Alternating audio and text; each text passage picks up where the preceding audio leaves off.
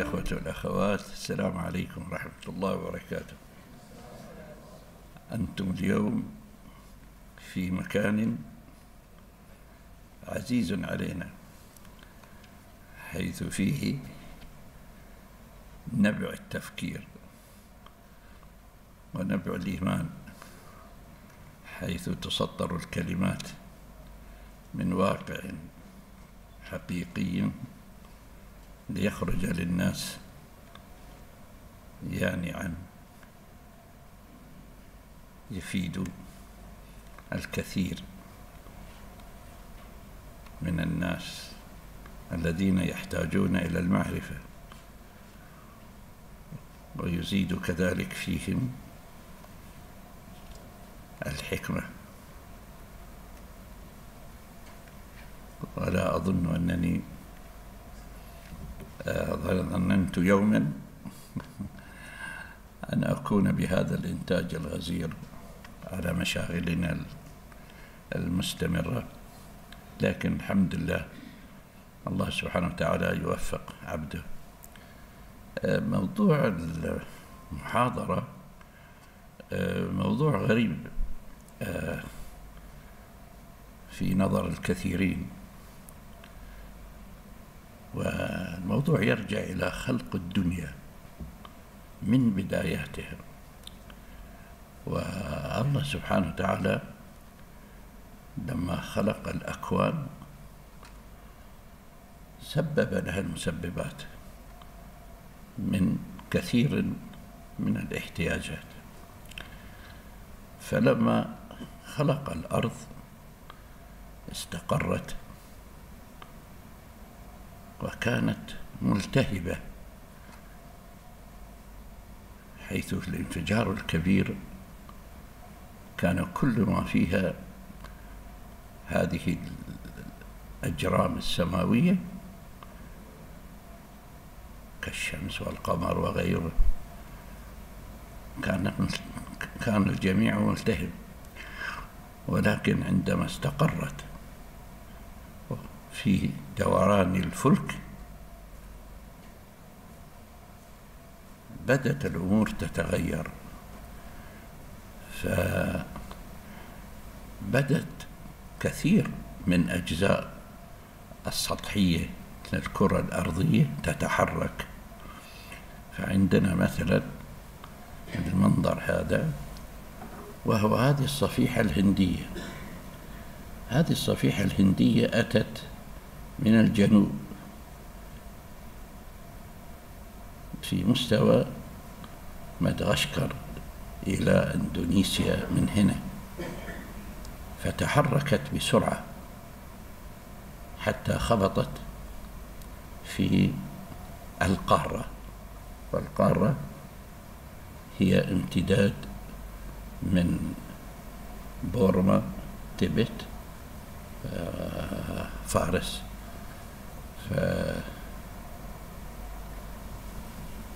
لما خبطت هنا نلاحظ اللون الأحمر هو ما فيه الزلازل لأن هذه الجزيرة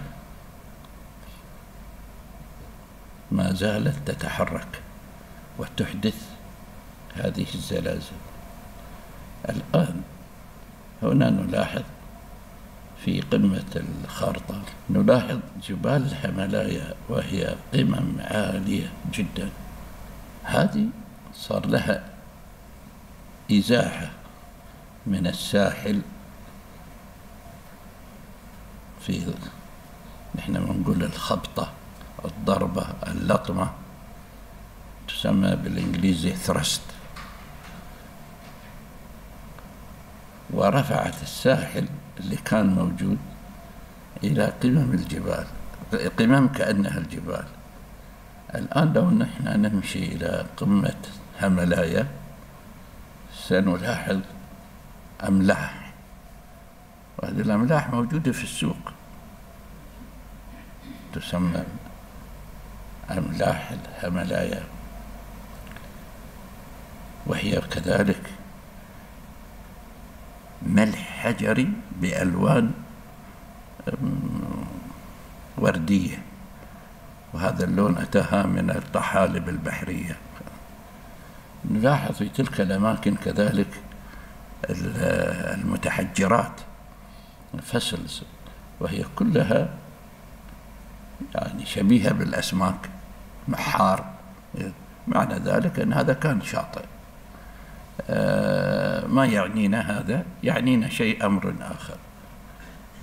نحن الآن نجي حق الصفيحة الهندي العربية. هذه تحركت من نفس المستوى. هذا كل من ثلاث مدغشقر الجزيرة العربية صفيحة الهندية صفيحة العربية. وأتت هذه وخبطت في الساحل اللي هو الفارسي. في هذه الخبطة نلاحظ أن الجزيرة ما كانت تمشي مثل ما مشت الهندية. الجزيرة العربية كانت تلف. وفي هذه اللفات يبقى حركتها في الخبطة بتكون أشد.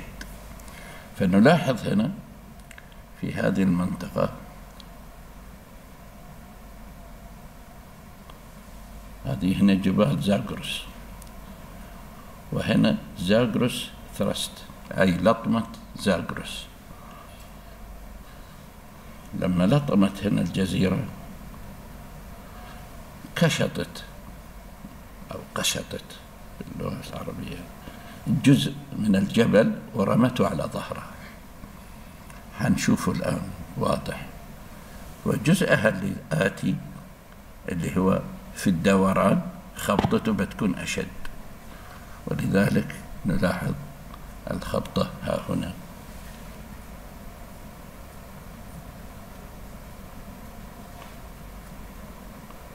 في هذا المكان. فالخبطة هذه مع هذا اللي هو جبال مكران.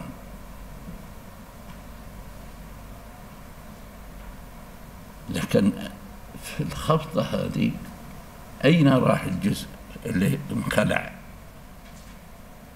غير موجود. نشوف. نلاحظ هنا أن هذه جبال زاغرس وهذه كلها جبال ليست لها قواعد رواسي. أي ليست لها جذور.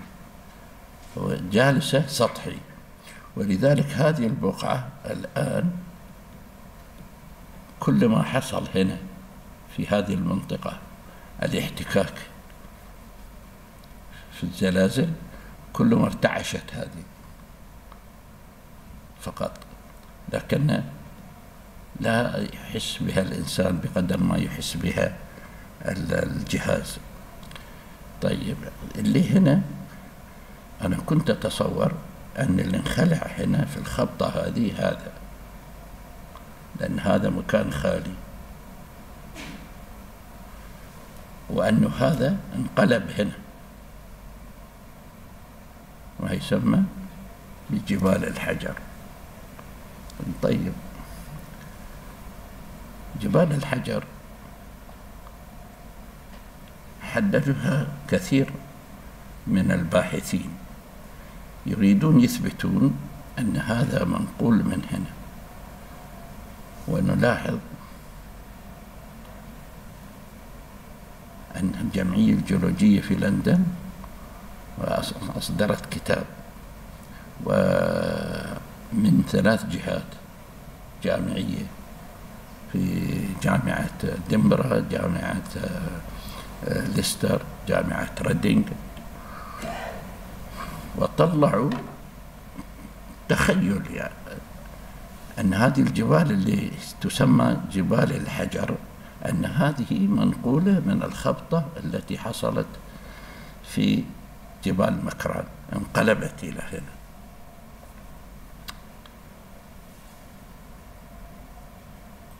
أنا عملت بحث ومسحت كل جبال مكران وجبتها هنا وبدأت أحلل. هل شيء منها يشبه؟ هذه من السواحل اللي حنشاهدها هذه الجبال العالية. ف هذا الساحل وصلت أي المنطقة اللي منخلع فيها الأرض يعني. إذا وعملت دراسة عن طريق طبعا خبراء في معامل مقارنة بجبال خرفكان وما جاورها النتيجة صفر. لم أنجح. فيراد الآن بحث آخر لأن حتى هؤلاء الناس الذين بحثوا في من هذه الجامعات يعني وحتى جامعة السلطان قابوس كان في مؤتمر عندهم في سنة 2014 آه، بحثوا لكن لا يقولون يعني أن في تحليل حصل وهل هو من زاغروس ما بيوصل هنا. هل هو ف فإلى اليوم ما زالت المسألة غير معروفة. آه، نرجع للخليج. الخليج هذا الذي تكون تكون في وقت كانت الثلوج تغطي الجزيرة العربية والمناطق الأخرى وحتى جبال فارس. وكانت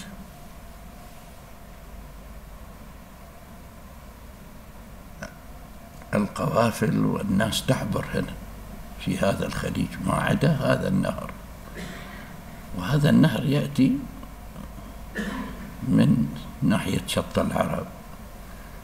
ونهر هنا يأتي من إيران. لكن ما هذا؟ هذا يسمى تسمى هنا المسيلة.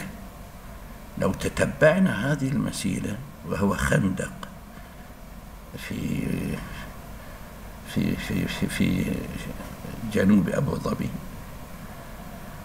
ويستمر حتى يحصل جبال اليمن. وفي الذوبان يأتي إلى هنا. في هذا المكان كان الخبراء بحثوا أنقبوا فوجدوا في آه، أفيلة قديمة تماسيح آه، معنى هذا نهر كان جاري. العموم فكان الوضع بهذه الصورة في أربعة عشر ألف سنة قبل بدأ ذوبان الجليد. وكمية الذوبان كانت تغطي فقط هذا الأزرق.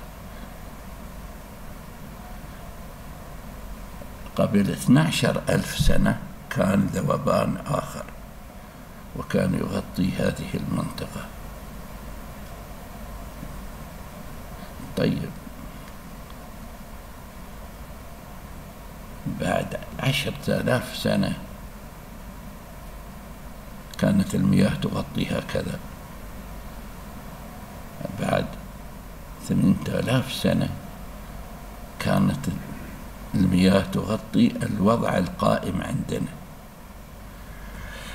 خلال هذه الرحلة نلاحظ منذ البداية كان حول المياه المتكونة تتكون حياة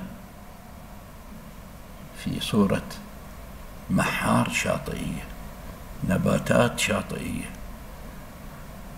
وفي الجهة الثانية التي هي ناحية إيران فكانت المياه من هذا الينبوع اللي هو هذا. كانت تكون مصب نهر. وعند مصب النهر نمشي معه كل مرة نرتفع نلاقي أن النباتات بالقرب والباقي يكون تحجر موجود يعني. وهكذا نحن أمام أربعة شطآن متغيرة مع الزمن حتى نصل إلى وضعنا هذا. هل سينزاح إلى أكثر. هذا ما هو متوقع. والآن كثير يهددون يعني بناة المواني. فنحن لما بنينا المينا في دبا وكانت من التعليمات أن نحن نرفع شوية المستوى لأن الماء يعني سيطغى. فاحتجوا الصيادين انه نحن ما نقدر نركب يعني نركب فوق يعني. ليش الشيخ سوى هذا كذا؟ قلت والله أنا شو بعمل؟ أنا مع الواقع اللي سيحدث إن شاء الله. لو حدث. اذا هذا هو خليجنا الذي نحن نتحدث عنه. هذا الخليج في هذه الصورة أنا كنت أقدم دراسة دكتوراه في جامعة درام و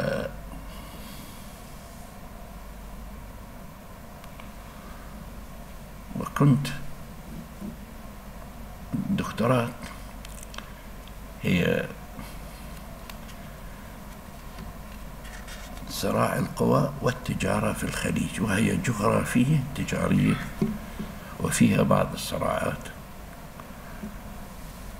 وكنت أكتب في فصل عن تنقل التجارة في الخليج. فكانت المخطوطات العربية يقال كانت تأتي التجارة من جنوب عمان إلى توام ومن توام إلى بينونة. وبينونة بيرما. ويقال أن هذا الطريق اختفى بالرمال التي غطته. يقال أن التجارة تأتي هذا مقولة أخرى. تعبر إلى منطقة تسمى القرحة. القرحة. أين القرحة؟ بين الكويت والبحرين. البحرين قديما يعني الساحل. عملت على هذا. أولا المرور هنا هذا الربع الخالي. صعب. طيب لو رحنا للداخل. هذه سباخ. ولا ماء ولا شيء. طبعا أنا بحثت هذا كله إذا في هل في قبور؟ هل في آثار؟ ما في. جينا إلى هنا. هنا في العجير. العجير فيها مباني أنا كنت زرتها أنا طفل. وأتذكرها يعني لكن هو أثر إسلامي. قالوا لا في الخبراء السعوديين الأثريين. قالوا تحت وجدنا مستعمرة قديمة يعني. طب أعطوني شيء. قالوا آه، نحن ما نقدر نطلع هنا في المملكة صعب شوي. قلت طيب القرحة هاي القرحة لازم هنا؟ فأنا قلت عندي خارطة بطليموس. ليش ما أنظر فيها؟ فجيت أفتش. هذه مدن على الساحل. ما أمشي بالمكبر وأنا أمشي وأنا أمشي وأوصل. هنا كرحة الله هنا. يعني هنا مقابلة توام العين. يعني بير هنا.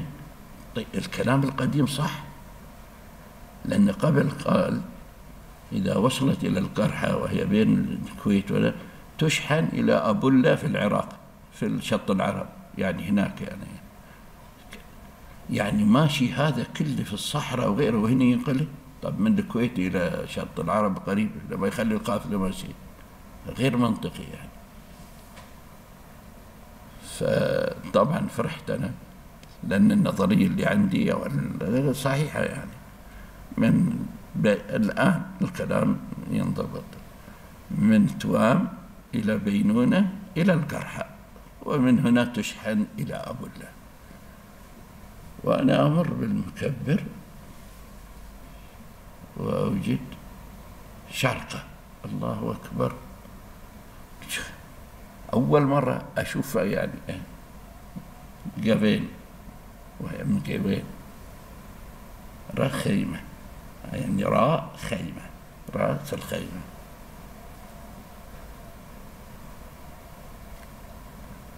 الآن مش الدراسة الآن تحركت إلى شيء غير؟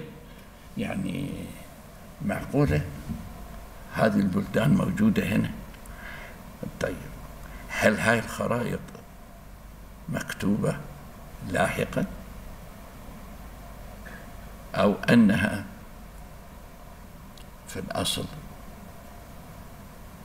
طيب نشوف بطليموس شفنا بطليموس وإذا بطليموس طبعا جامع مصادر كثيرة. وبطليموس يعني في المئة إلى مئتين ميلادي في هذه الفترة عايش. بس لكن بطليموس كتابة غير عن ما جاء هنا. ما في خارطة الكتاب. فبدأت أقرأ في الكتاب. قلت إذا كان هذا بيحقق لازم نقرأ الكتاب. وإذا نحن أمام ساحل أكلت السمك راس الخيمة قبيل شاركة قرحة. يبقى المصدر موجود صحيح. طيب من عمل هذه الخرائط؟ الخرائط عملها شخص اسمه مكسيم في القسطنطينية فيه دير فوجد المخطوطة مال بطليموس فأعطاها لواحد يعرف يرسم. فقال ارسمها. فرسم هذه الخرائط الموجودة. وبعدين الخرائط أهداها للملك الإمبراطور البيزنطي. والبيزنطي أهداها للفاتيكان. نرجع مرة ثانية. إذا سنة كم هذه الخرائط اتعملت سنة 1294 الخرائط في الفاتيكان لا يكشف عنها وكثير من من تراثهم ومقتنياتهم كلها محفوظة. وكان لأول مرة تكشف كنوزهم للشارقة لم تكشف لأحد. وقالوا نحن للشارقة نقدم كل ما لدينا. وعملوا معرض في الشارقة وعلى أثر ذلك هم بدأوا ينشرون الخرائط كذلك. الخارطة هذه المصورة هاي صورتها شركة بريل في سنة 1932 وأنا اقتنيتها كذلك. الآن نحن نسأل هذا بطليموس من وين جاب معلوماته؟ ده جالس في الاسكندرية في مكتبة. لم يتحرك. بس الكتب تجي. وهو يعني لا يبحث أكثر من المكتبة ما يخرج. حتى أنا قبل قلت هذا في في رأيي يعني قلت هذا يت...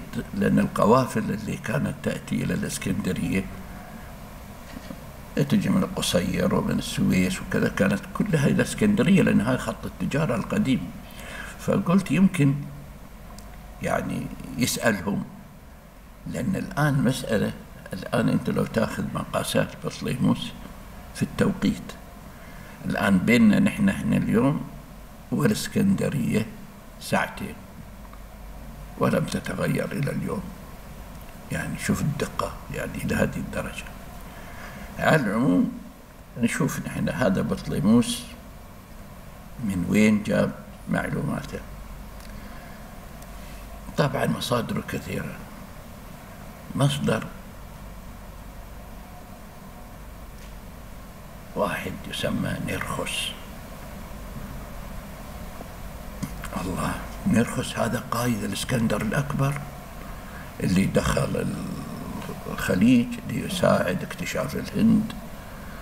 وبعدين الآخرين الضباط الذين جو ثلاثة على الساحل نشوفهم نشوفهم هنا. فلما دخلوا الخليج كان نرخص على الساحل الفارسي. وهنا في ثلاث ضباط مسحوا الساحل هذا كله إلى مسندر ونلاحظ أن أندريونسيس يقول أنا وصلت إلى القرحة وهي مدينة تجارية كبيرة وكان يصفها يعني طيب إذا نحن الآن نريد نشوف أين ذهبت هذه الكتابات هاي إذا هو كتب. وهذا وهذا الثلاثة أين كتبوا؟ هم كتبوا اللي كشفه أريان. وأريان هو صاحب كتاب إنديكا أي الهند. لكن كتابة هؤلاء كانت لوحدها لأنه بعده يكتب عن الهند فهذه كلها موجودة في مكان واحد. أريان في سنة خمسة وتسعين.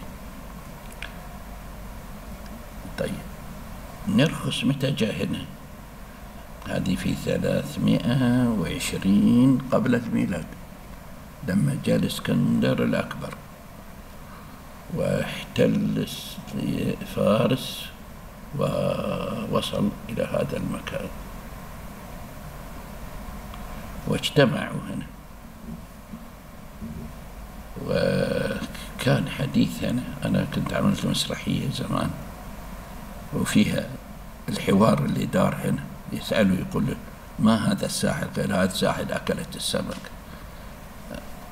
مش مش ناس ريحتهم سمك ولكن حتى معيزهم ريحته سمك. فيوصف هذا الساحل. هذا ما كتبوه عن الإسكندر قصة الإسكندر. لكن ما كتبوه هذول الثلاثة أدق. طيب. ما كتب نرخس وما جمع أريان موجود في هذا الكتاب. وهذه كتابة يعني كتابة آه، رحلة نرخس وفيها كذلك الضباط الثلاثة والذي هو هنا مكتوبة تحت اسم أريان.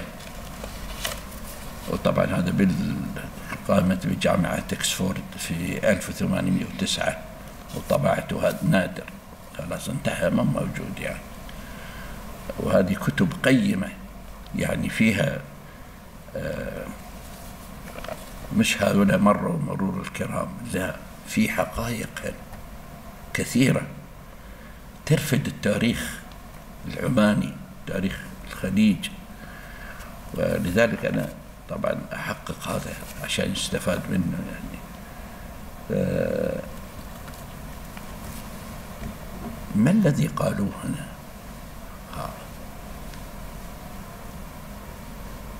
هنا في كلام دار. نشوفه كذا في الخارطة هذه. الإسكندر أتى وكان حاكم فارس داريوس. ومالك بن فهم جاء عمان وكان حاكم فارس داريوس. ما الذي حدث لمالك بن فهم؟ مالك بن فهم حارب ودخل من طريق توام إلى وادي الجزي يحارب هؤلاء الناس. قالوا نريد الهدنة. فأعطوه هدنة أعطاهم هدنة. وبعثوا لداريوس. وداريوس بعث. هو نفسه أتى. نلاحظ هنا في هذا المكان. هذه خارطة آه، يعني هي مخطوطة قديمة يعني ولا يوجد من من هذه هذا في صورة آه، ملف إمبراطوريات آه، في العالم. موجود منه اثنين واحدة عندي وواحدة في في بلدة في في سويسرا. هنا هو كتب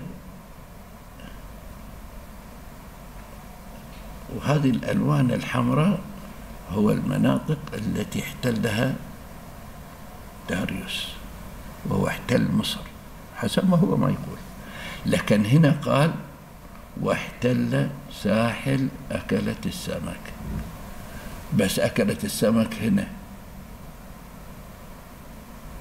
طيب. إذا داريوس ما دخل عمان احتلنا نحن فقط. ولما سمع أن اسكندر الأكبر جاي ارتحل. في هذا المكان نرخس يتكلم في هذا يقول ويتكلم عن عمان وعمان لها ملك.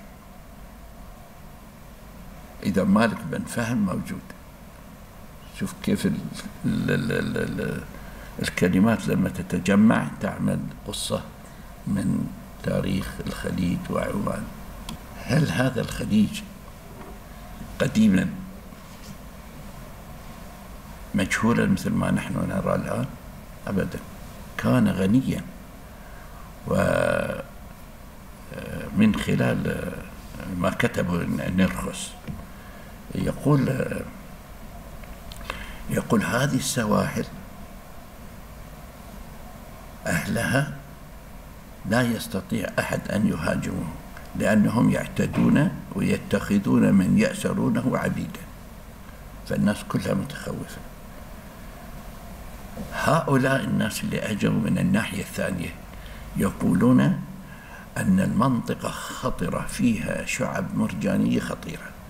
لا نستطيع نقترب من حواف الخليج. مثل مثلا لما يجي عند راس قطر. وين يروح يعني؟ شوف هذه بارزة برا. الثاني هنا في الداخل لو راح هنا يخاف ما يعرف وين بيروح. ولذلك في وصف الخليج نفسه في ونفسه كانت القوافل التي تأتي فقط تأتي من هذا المكان. وهذا هنا في تمدن. لأن ما دام عندهم تجارة يعني عندهم تمدن. ولذلك بهذه الخرائط وبما كتبوها الرحالة القدماء مثلا نحن قلنا أن نرخس ما كتب اسم مدن وكذلك الضباط الثلاثة ما كتبوا. طب من الذي وضع هذه الأسماء هو ما حطها. لكن أنا حتكلم بها لأنه موجودة. ما ف... ناخذ صفحة جديدة يعني. فعندنا كثيرين من الذين آه، رحلوا. مثلا عندنا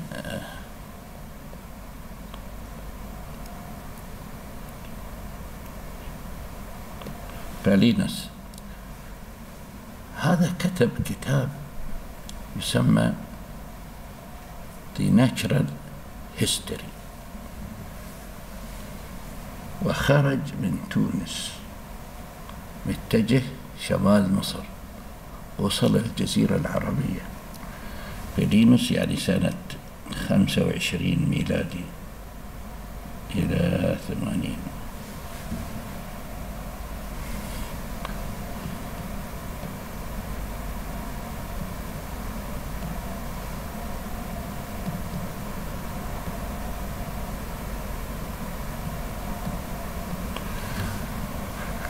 ووصل إلى الخليج وكتب على الخليج.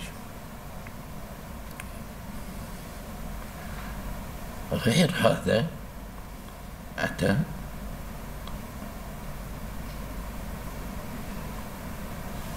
آخر عبر الخليج.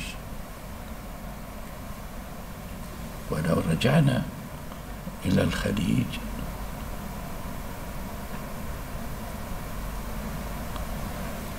عبر هنا. وكانت الفترة اللي فيها هو يعبر في هذه المناطق ويجمع المعلومات. كانت فارس تحت حكم الإسكندر الأكبر. هو طبعا مات لكن ضباطه هم الذين حكموا. فكان هنا فيه مأمن التجارة تنقل. وهؤلاء الذين جمعهم مارينوس هي التي استعملها الإسكندر الأكبر في آه، آه، مخطوطته. نقول كم يعني بعد الإسكندر؟ يمكن بعد الإسكندر يعني خمسين سنة ستين سنة فقط. يبقى هذه الأسماء الموجودة هنا قديما. لأن نحن لما نشوف أحد الضباط يقول زرت أنا وهو في في 320 قبل الميلاد أنا زرت القرحة وجدتها مدينة. معنى هذه الأسماء كانت موجودة. القصد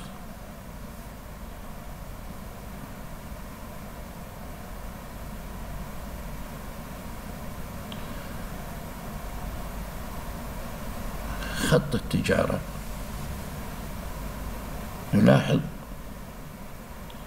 أن خط التجارة يأتي من جنوب عمان وهو يمشي في الوديان حيث تكون مياه يأتي إلى توام هي العين يأتي إلى بينونة وهي بيرما إذن هذا طريق من طرق التجارة. الطريق الآخر يأتي من صحار في وادي القور ثم يفتح هنا على سهل تأتي مليحة وهذه وديان. وتمشي هذه الوديان إلى الزيد إلى أن نصل إلى البحر. هنا منطقة تسمى الدور فيها آثار كثيرة. فهذا كذلك خط التجارة. نلاحظ أن في مليحة معظم أو كل الآثار رومانية غريكية. يعني حتى أن العملة عملة الإسكندر الأكبر هي تضرب هنا قوالبها موجودة هنا وهي غنية بالآثار. إذا من هذا كله نستطيع إعادة كتابة التاريخ. في صورة صحيحة محققة عن طريق الخرائط عن طريق الوثائق عن طريق الآثار. ونكتب هذا التاريخ المنقح الجيد. ولو تقدمنا كذلك إلى أن نصل إلى فترة الإسلام نحن هنا نكتب عن مالك بن فهم. وتاريخ مالك بن فهم يتردد كثير يعني في في الصحف العمانية في الكتابات العمانية. لكن لو جينا وشفنا فترة الأمويين ثم العباسيين عمان لم تخضع. إلا في بعض فترات أيام السلاجقة أيام كذا. وكانت بعيدة عن كل المهاترات التي دخلوا فيها من بعد مقتل عثمان وكذا هم يبعدوا بعدين نفسهم عنها وأنا عندي مخطوطات أكتب هذه الفترة بوثائق وبأسماء وبحوادث. وأغني تاريخ عمان وهو ليس عندهم إلى أن أصل إلى النبهانيين. ومن النبهانيين أبدأ عندي مخزون كبير عن دولة اليعاربة لأنهم في صراع مع البرتغاليين وكل ما كتب للبرتغاليين عن عمان أو عن المنطقة قد احتفظت به للتاريخ. إذا نصل إلى نهاية اليعاربة وهو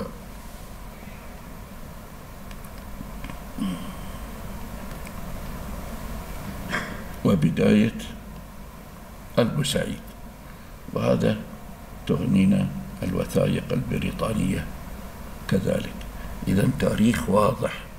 يستطيع الواحد يكتب فيه ما يقارب من أربع حقب. وغني وأنا سألت العمانيين يعني. قلت لهم أنا عندي مشروع كبير تاريخ ضخم. لكن هذا يكون في إجحاف حق صاحب التاريخ لأنه حيضيع. لأنه تعرف ال ال اللي يقصد الشيء يريده مباشرة. فسألت قال لا الشيخ اكتب لنا وحدنا. سألنا السعوديين اكتب لنا وحدنا. أهل بيتي قالوا لا ما تخلطنا يكتب لنا وحدنا. فبدأ المشروع وكأنه يتجزأ. هل أنا يعني أكتب التاريخ وقد يعني بدأت قطعت شوط يعني. ولكن مثل كأني بتراجع أعلنته يعني قلت يعني حوالي 12 مجلد وكذا. وبأسلوب يعني كل فصل 15 صفحة 16 صفحة آه خفيف. بأسلوب روائي. آه الفصل يعطي قضية يعطي موضوع. حسبت الناس اللي يترددون في النوم يمكن يقرأ قبل ما يخلد إلى الفراش يعني عشر دقائق. فلو أنا كسبت هذا عشر دقائق قبل النوم خليت العلم يختمر في مخه يبقى أحسن يعني. فهو يخلص الموضوع وبكرة يعرف بموضوع آخر ما له ارتباط بهذا. و يعني كثيرين يعني من الكتاب يكتبون يعني يكتبون التاريخ يعني بطريقة روائية يعني. لكن حتى إذا كتبوا بالطريقة الروائية حشو حشو كثير فأنا هنا لا. أنا أكتب فقط بس 15 صفحة 16 صفحة وأعرف أن صاحبي القارئ هنا سيتثاءب. فما في فائدة يعني. ولذلك يعني الحاجة الثانية أنا من الناس اللي أنا بعد ما أعطي الأوراق للطباعة وطبعا في مراجعة راجع وراجع. أنا أبدأ أول ناقد لي أنا أنقد نفسي. ممكن فصل يزول ما تشوفه. وممكن سسطر تروح. وممكن يعني فأنا يعني أحط نفسي وكأني مكان هذا الشخص الذي أنا ما أقول إني أنا أنا أقرأ 300 صفحة في اليوم. نعم. فما بيهمني بقرأ بسرعة يعني. لكن أنا أحط نفسي في مكانه. أقول كم هذا يستحمل يعني.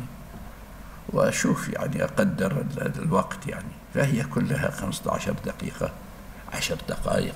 بس كفاية كده عليه. ليش؟ لأنه ما يستحمل يعني. ولذلك قررت الآن أنا أغير الأسلوب الأولي اللي أنا أحشي المكان كله بالمعلومات. والكل يفتش. عمان فين؟ في المجلد السابع في مدري وين طلعوا مرة. بعدين يعني بيجي بطريقة إيش؟ بيجي ما بيجي بطريقة والله مجلد لوحده. لا شوية هنا شوية هنا شوية لأنك أنت بتمشي بالتاريخ. فبيضيع. فلا أعطيه حقه. فإن شاء الله يعني في كتابات القادمة ستأتي يعني كتابات في هذه التواريخ القيمة. الحاجة الثانية أن التاريخ العربي يريد بصراحة يعني تنقيح. وصعب أنك أنت يعني فأنا قلت أنا صحح التاريخ وأكتبه وأحطه في الدولاب وأقول هذا لا يقرأ ولا يفتح إلا بعد الرجوع من المقبرة. أنتم كيفكم؟ حتى لا يلومني حد يعني. أكتب الحقيقة ولا شيء شيء غير الحقيقة. فلا نريد أن نطيل عليكم ولكن هذه بداية وأظني خير بداية للتاريخ وتاريخ الخليج بالذات أن نبدأ في الكتابة بهذا الأسلوب ومن هذا المنطلق. أشكر لكم إصغاءكم وشكرا شكرا.